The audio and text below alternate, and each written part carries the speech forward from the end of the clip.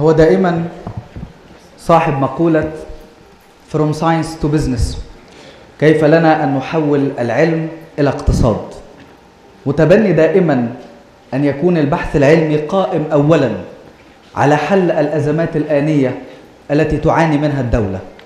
استطاع أن يعبر بجامعة المنصورة الحدود والقارات لتكون سفيرا حقيقيا عن جمهورية مصر العربية.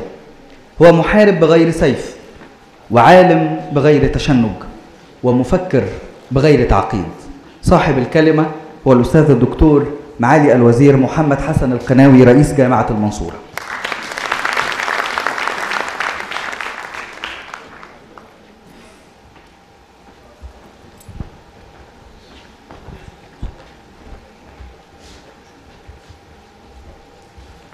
بسم الله الرحمن الرحيم.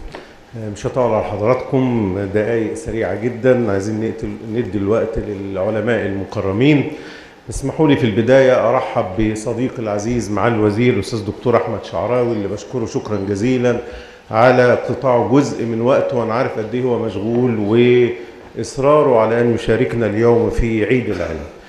اسمحوا لي أرحب بمعالي الوزير الاستاذ الدكتور أحمد جمال الدين موسى وزير التربية والتعليم الأسبق وصديقي العزيز معالي الوزير الاستاذ دكتور هلال الشربيني وزير التربية والتعليم السابق.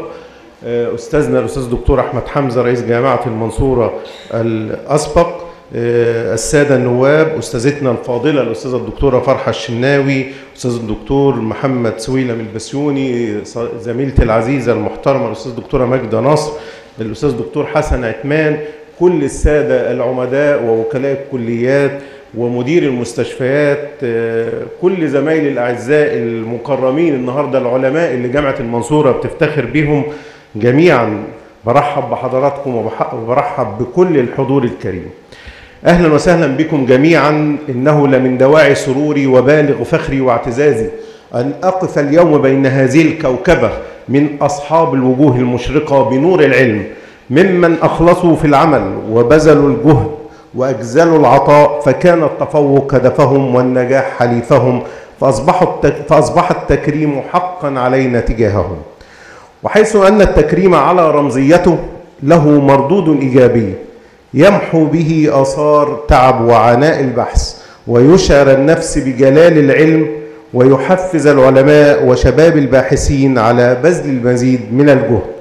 ومواصلة العطاء كما يأتي هذا التكريم انطلاقا من إيماننا العميق بقيمة الوفاء وتقديرا للدور التنويري والحضاري للعلم والعلماء وكون العلم هو المدخل الطبيعي للحياة العصرية وإن البحث العلمي والتكنولوجيا الحديثة قاطرة التنمية الشاملة ومعيار نهضة الأمم وتحضر الشعوب.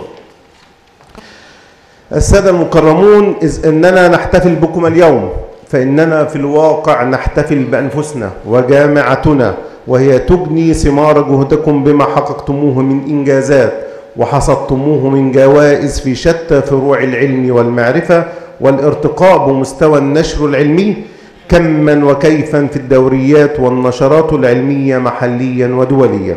وتبوأت به الجامعة مكانة مرموقة بين أعرق جامعات العالم.